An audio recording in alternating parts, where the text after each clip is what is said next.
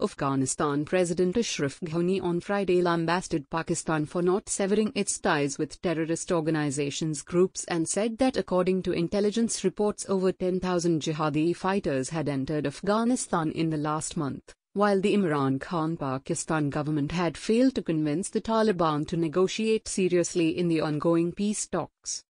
Addressing the inaugural ceremony of the Central and South Asia Connectivity Conference here, Ghani said contrary to repeated assurances by Khan and his generals that Pakistan does not find a Taliban takeover in Afghanistan in its interest and short of use of force will use its power and influence to make the Taliban negotiate seriously. Networks and organizations supporting the Taliban are openly celebrating the destruction of the assets and capabilities of the Afghan people and state.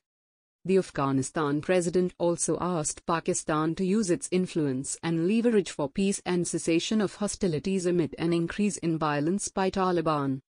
In his response a short while later at the conference, Imran Khan said he was disappointed by Ghani's allegation that Pakistan had a negative role in the Afghanistan peace process. To blame Pakistan for what is going on in Afghanistan and Taliban is not fair, he said.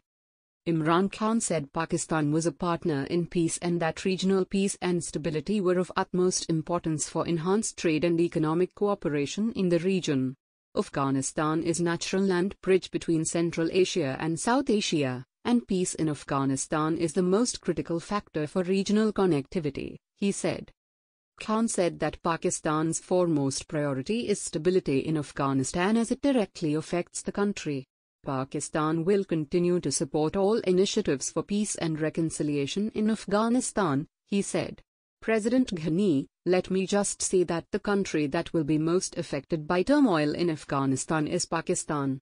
Pakistan suffered 70,000 casualties in the last 15 years. The last thing Pakistan wants is more conflict, he added. Reiterating his resolve to fight back the Taliban, Ghani addressing the conference said, based on the principles of concentration of forces and economy of effort, we are prepared to face the Taliban and their supporters for as long as it takes until they realize that a political solution is the only way forward. We, therefore, call on the Taliban to engage with the government of Afghanistan to end the war and the destructive recent onslaught, he said adding Pakistan, therefore, needs to be engaged coherently and urgently from the perspective of regional interest. He also said that plunging Afghanistan into an all-out war is to plunge the region into radical uncertainty.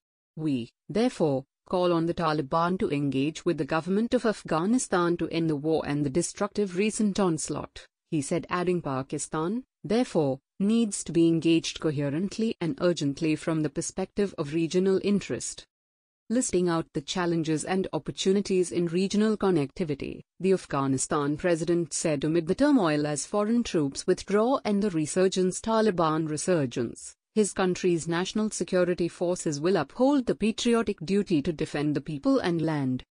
Permit me, however, to make one thing clear. While our people and government are fully committed to peace under my leadership, our national security forces will uphold our patriotic duty to defend our people and land.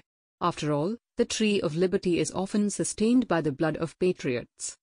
Talking about the threats that are manifesting in Afghanistan, Ghani said, while the third wave of the COVID 19 pandemic is threatening our lives and a severe drought is threatening our livelihoods, Taliban have unleashed a destructive wave of attacks across the country.